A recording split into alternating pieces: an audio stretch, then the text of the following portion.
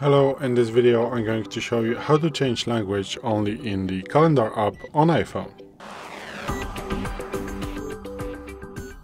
So today in front of me is the iPhone 12 with the iOS 17.4 but it really doesn't matter which iPhone you have or which version of the iOS you have, it is all going to work the same on every iPhone. So what you want to do is to open settings, then swipe down and tap on calendar.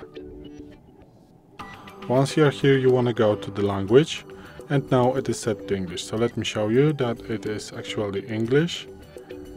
So where is the calendar? Maybe the fastest way is going to be just like that.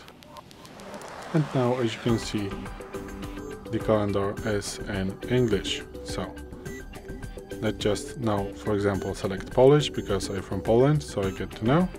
And now as you can see the whole calendar is in Polish so here you're going to be able to choose between languages that you have already set as your iPhone languages.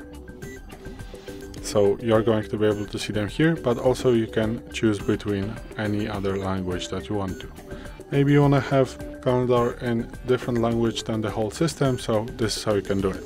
So thanks for watching. I hope this video helped you. If it did please leave a like and consider to subscribe to our channel.